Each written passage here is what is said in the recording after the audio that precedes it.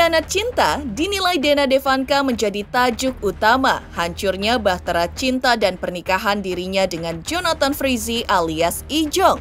Sejalan dengan pernyataan Dena, sejak awal kabar perceraian Dena dan Ijong, ramai diberitakan penyebabnya adalah adanya pelakor alias perebut laki orang.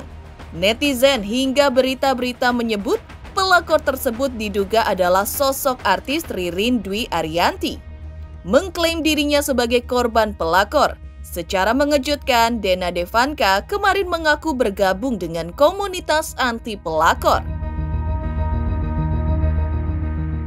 Ia menilai hadirnya komunitas tersebut positif karena bisa memberikan pendampingan secara psikologis kepada perempuan seperti dirinya yang menjadi korban aksi pelakor oleh psikolog-psikolog berpengalaman.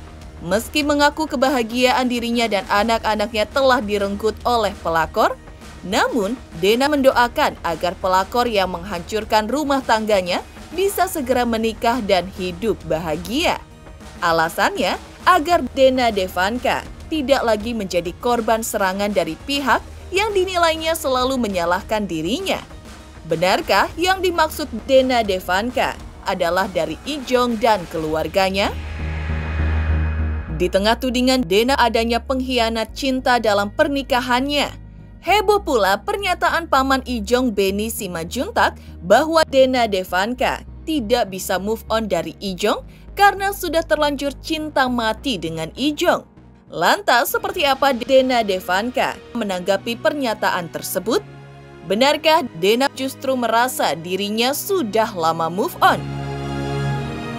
Di sisi lain, fenomena pelakor di Indonesia kabarnya sudah marak dan bahkan siaga pelakor. Lantas, apa penyebab yang membuat fenomena tersebut terjadi? Apa pula yang membuat psikolog menyebut pelakor itu IQ-nya jongkok? Pemirsa, bersama intens investigasi, kami hadirkan kabar terkini, terpercaya dan teraktual. Tetapi sebelumnya, jangan lupa untuk like, subscribe, dan juga share channel YouTube ini.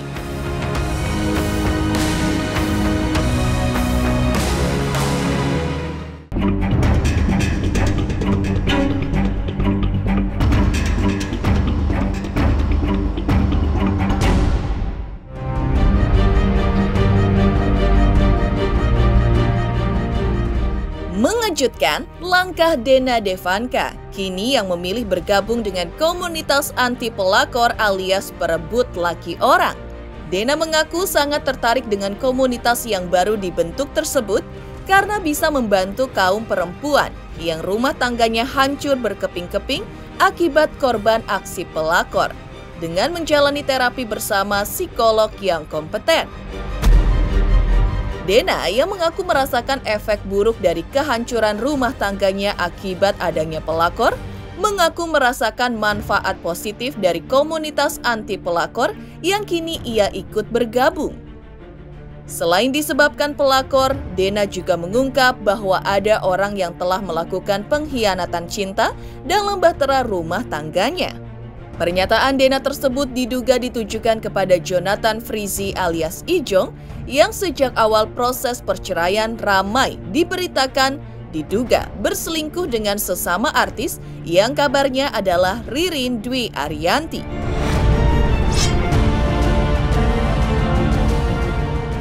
Sebenarnya um, aku tertarik banget gitu loh kalau ada komunitas seperti ini pada saat tahun lalu ya mbak yeah. gitu loh mungkin aku akan join karena aku juga pada saat itu bingung mau sharing ke mana ya pasti kita sharing ke uh, ibu dan juga sahabat. Nah, kalau ini kan mungkin akhirnya lebih bagus gitu loh. Jadi kita bisa komunikasi secara misalnya ada terapi dari psikolog atau segala macem gitu. Jadi terarah lah gitu loh.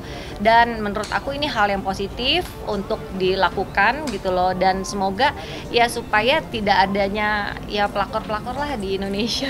Teman-teman tahu rumah tangga saya juga um, apa namanya bisa dibilang runyam berantakan dan akhirnya sampai harus bercerai. Terus um, karena ya mungkin saya udah nggak bisa nutupin lagi ya gitu loh bukan karena ini itu ya karena adanya pihak ketiga kecewa ya marah sih udah biasa gitu jadi apa yang dituduhkan itu sebenarnya kadang-kadang nggak sesuai. Jadi dibumbu-bumbuin dan ada banyak hal yang uh, sebenarnya fake lah gitu, bohong. Gitu. Dena Devanka mengungkap bahwa kebahagiaan dirinya dan ketiga buah hatinya telah direnggut oleh pelakor. Tapi alih-alih dirasuki dendam, Dena Devanka malah mendoakan agar pelakor bisa segera menikah dengan Arjuna hatinya dan bisa hidup bahagia kelak sebagai pasangan yang serasi dan harmonis. Karena kan katanya orang yang baik akan dipertemukan dengan orang yang baik gitu ya Mbak. Ya. Gitu loh. Kalau orang yang berkhianat cocok dengan orang yang berkhianat, cocoklah mereka. Ya semoga apa yang sudah diperjuangkan selama ini dengan mengambil ke, apa kebahagiaan anak-anak saya itu uh, apa apa ya um, worth it gitu loh gitu jadi jangan sampai sudah diperjuangkan sampai hancur terus akhirnya mereka nggak jadi juga gitu janganlah harus harus saya doain biar jadi gitu loh jadi biar saya juga tenang hidupnya nggak dirongrong terus nggak direcetin lagi gitu loh tiga kata apa ya ya semoga bahagia tuh Mbak Dena, Baru dua ya, semoga ini kan semoga kamu bahagia. Oke. Okay.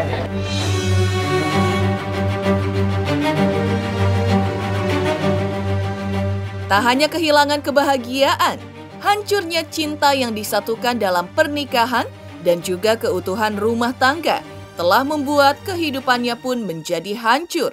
Pasalnya, efek dari prahara perceraiannya dengan Ijong, kini dirinya sering mendapat serangan secara psikologis dari kubu Ijong melalui pernyataan baik langsung, berita, maupun melalui status yang dibuat Ijong dan dinilai Dena telah membuat dirinya terpojok dan selalu berada di pihak yang salah. Meski merasa kecewa, namun Dena meminta pihak Ijong agar tidak menyeret anak-anak terlalu dini ke dalam pusaran hubungannya dengan perempuan yang disebut Dena diduga sebagai pelakor.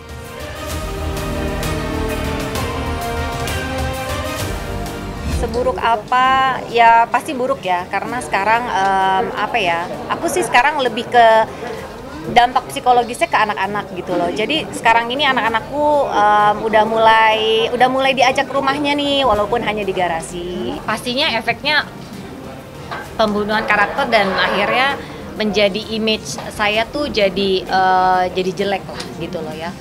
Nah, kan sebenarnya membangun image atau pencitraan diri itu sebenarnya kan nggak mudah gitu loh. Tapi ya sudahlah, saya cuma bisa berserah aja sama Tuhan. Yang penting anak-anak dan keluarga terdekat tahu gitu kan saya yang sebenarnya seperti apa. Dan sekarang kan uh, saya juga udah jalanin happy happy aja sama anak-anak. Toh uh, sekarang bahkan pengadilan agama pun dari hakim pun uh, memutuskan anak-anak berada di dalam pengasuhan saya gitu aja sih. Saya dan pihak keluarga saya itu um, saya di sini berdiri sendiri gitu loh. Tidak ada dalam pihak keluarga saya tuh yang ikut membantu bersuara ya di media gitu.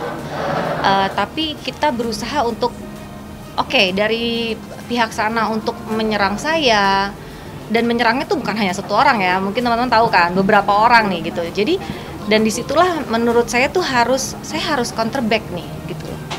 Kalau enggak orang media dan juga publik akan beropini kalau oh ya berarti Dena tuh benar begini kalau saya nggak ngomong kalau saya tidak mengeluarkan bukti juga gitu loh. Jadi sebenarnya bukti-bukti yang saya keluarkan itu hanya sebagiannya mbak gitu loh karena itu bukti yang saya berikan ke uh, pengadilan. Sebenarnya itu saya nggak mau share. Sebenarnya banyak bukti yang lainnya mungkin akan lebih mencengangkan gitu ya. Tapi ya sudah itu biar biarlah gitu loh.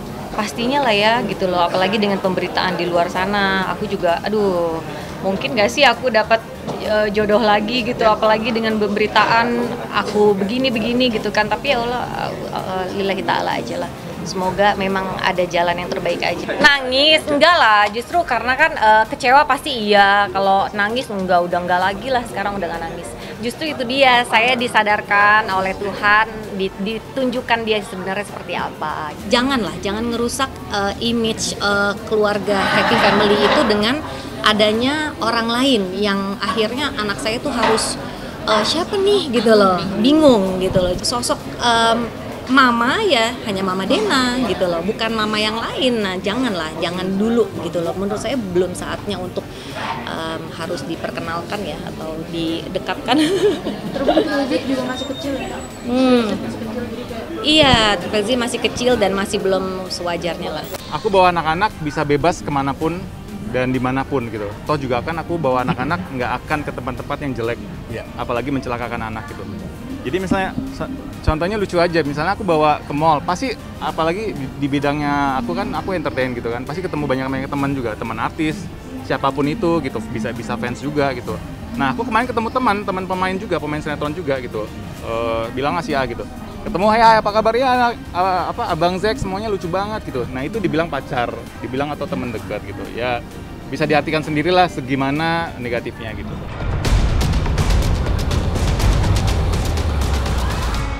Heboh, Dena Devanka bergabung dalam komunitas anti pelakor.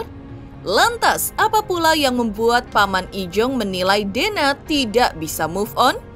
Pemirsa intens investigasi, jangan lupa untuk like, subscribe, dan juga share channel YouTube ini.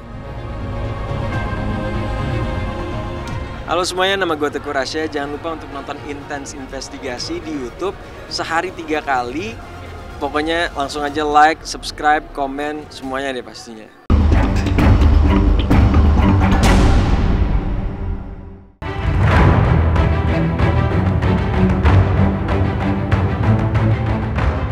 Geger, Dena Devanka bergabung dengan komunitas anti pelakor karena merasa adanya pengkhianat cinta dalam rumah tangganya.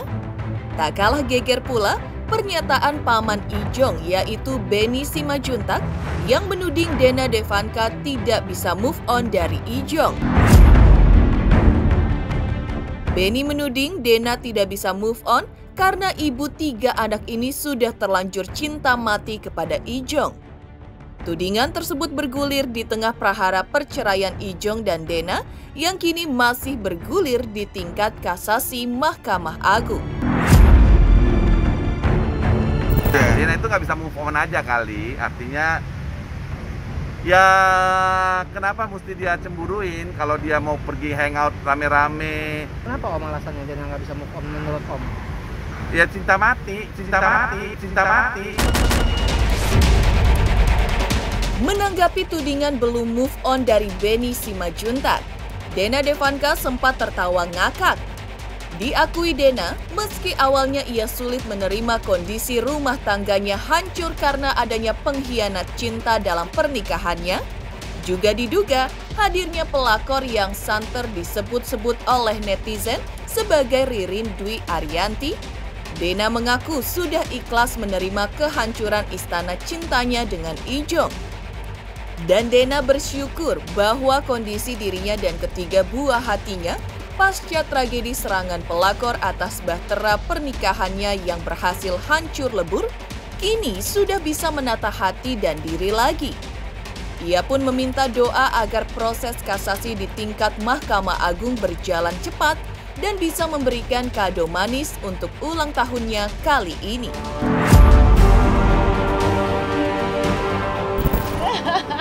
Enggak, nggak mau jawab itu.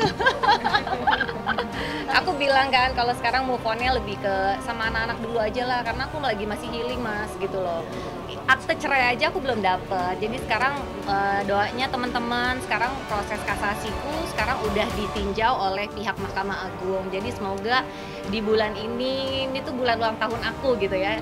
Uh, iya hari Jumat ulang tahun aku mbak ya jadi semoga ada berita baik gitu kan. jadi semoga setelah kasasi ini tidak ada lanjutan lagi di proses pengadilan.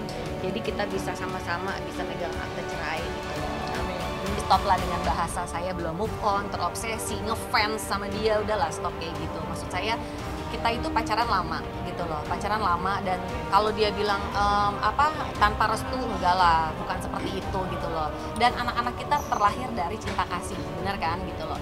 Jadi um, kalau mau move on menurut saya dengan saya bisa ikhlas menerima kondisi ini yang memang pasti nggak gampang dong gitu loh. Dari keluarga yang menurut saya happy ya tiba-tiba akhirnya harus rusak lah. Um, tapi saya udah bisa move on untuk ya sekarang ternyata saya baik-baik aja sama anak-anak. Sebenarnya itu bukti-bukti untuk di pengadilan ya gitu loh. Banyak sekali sebenarnya bukti-bukti uh, saya gitu loh akhirnya mesti keluar juga. Memang pada malu banget mbak gitu loh. Tapi mau bagaimana? Karena di sini mungkin teman-teman media tahu saya diserang. Diserang mungkin gak cuma satu orang ya gitu loh. Uh, dan itu terjadi dari tahun berapa nih gitu loh. Ini udah setahun lebih gitu. Dan saya di sini selalu bilang ke dia kalau dia kan bilang aja uh, dia bilang ke mamaku mau damai mau segala macem. Kalau mau damai ya ngapain kasasi gitu loh. Kan dengan kasasi kan sama aja dia terus-terus nggak ada habisnya lah sama saya Mengejutkan pernyataan Paman Ijong Beni Simajuntak yang menuding Dena Devanka tidak bisa move on? Lantas benarkah Indonesia belakangan ini sudah masuk dalam kondisi darurat pelakor? Benarkah pelakor biasanya memiliki IQ jongkok? Pemirsa intens investigasi, jangan lupa untuk like, subscribe, dan juga share channel YouTube ini. Halo, saya Coki Sitohang. Saksikan terus Intens Investigasi sehari tiga kali, Senin sampai Sabtu di YouTube channelnya. Like, subscribe, and share. Don't forget.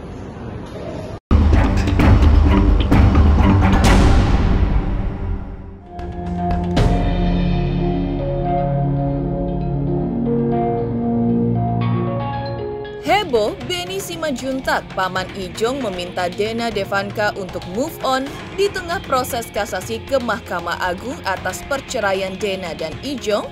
Psikolog Tika Bisono mengungkap fenomena pelakor di Indonesia yang kian meresahkan karena semakin marak. Kian maraknya pelakor berakibat banyak pula rumah tangga yang hancur lebur hingga berefek sangat dramatis baik terhadap psikologi pasangan di mana bisa mematikan karakter pasangan juga menghadirkan masalah serius terhadap anak-anak sebagai buah cinta pernikahan mereka. Sebenarnya saya merasa seperti kilas balik ya, saya melihat bahwa wow, apalagi Dena anaknya ada tiga ya, saya, alhamdulillah seorang dan masih ya saya ingin sekali belajar banyak dari Dena karena wah perjuangannya hebat. Hebat sekali. Makanya saya juga salut nih. Pernah ada di titik terendah? Ya ya titik terendah itu pada saat kita merasa sudah karena gini loh bila seseorang e, bercerai atau memutuskan untuk sendiri berkeluarga itu kita perempuan itu merasa sangat kecil sekali. Merasa diri kita kayak tidak bisa bangkit lagi. Apalagi bila e, pasangan atau mantan pasangan kita melihat diri kita atau mem, apa menjudge ya kalimat ya menjudge diri kita sehingga mengecilkan karakter kita. Ini bapak-bapak ada waktu-waktunya yang memang bapak pengen ngehe aja, ya nggak ada niat juga udah bercerai, nggak ada, nggak ada sama sekali. Nah, yang jadi masalah adalah perempuan itu bisa nggak terima diperlakukan tidak senonoh. Ya kan pasti rasanya saya diperlakukan tidak senonoh dong. E, karuan pelacur dalam PSK bayar konten dan bayar putus besok gue gak kenal lagi sama lo ya. Buat saya itu jauh lebih bagus daripada platonik platonik itu masih ada ya. Janjian. Kapan lagi? Gue ada waktu nih Jumat. Nah, itu platonik itu kayak gitu. Nah itu lebih membahayakan. Jadi uh, secara psikologis Mas Ari dua-duanya memang yang tadi kata Dena ya. Uh, bukan yang memang aman, tentram, damai, bahagia sejak masa kecil. Enggak. Menganalisa masalah maraknya pelakor di Indonesia, Tika Bisono selaku psikolog menemukan masalah yang menjadi pemicu pada perempuan pelakor, yaitu adanya masalah psikologis dalam setiap fase pertumbuhan si pelakor, baik pada fase anak-anak, remaja, ABG, maupun pada tahap awal fase dewasanya. Artinya, adanya pelakor dipicu oleh adanya masalah dalam keluarga yang membentuk mental anak di kemudian hari menjadi pelakor. Tentu saja, ini menjadi salah satu penyebab di samping beberapa penyebab lain, yaitu pergaulan dan juga masalah ekonomi. Lebih dari itu, Tika Bisono menganalisa bahwa pelakor biasanya memiliki tingkat IQ jongkok alias rendah.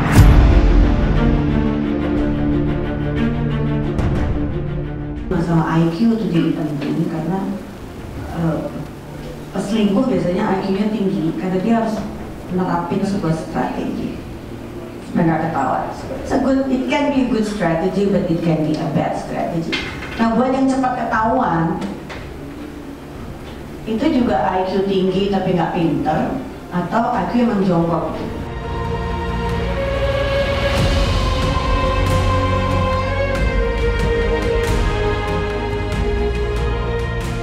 Demikian pemirsa, kabar terkini, terpercaya dan teraktual yang kami hadirkan hari ini. Saksikan terus Intens Investigasi setiap hari Senin sampai dengan Sabtu, tayang tiga kali sehari, yaitu pada pukul 11 siang, 3 sore, dan 7 malam, tentunya hanya di YouTube channel. Dan pastikan, jangan lupa untuk like, subscribe, share, dan juga komen channel Intens Investigasi.